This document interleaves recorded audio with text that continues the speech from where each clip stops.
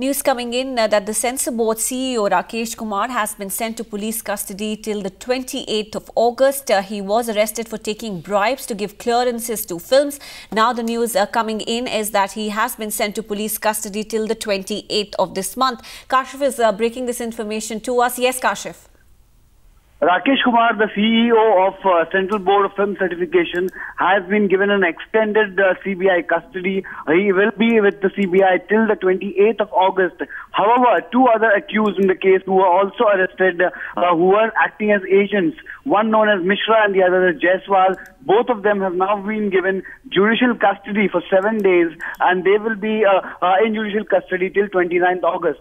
This was after CBI said that they needed more time to interrogate uh, Rakesh Kumar and they needed further details of uh, which movies and how much money has he uh, taken bribes at. So the court agreed to the plea and yes. granted additional uh, CBI custody for uh, seven days.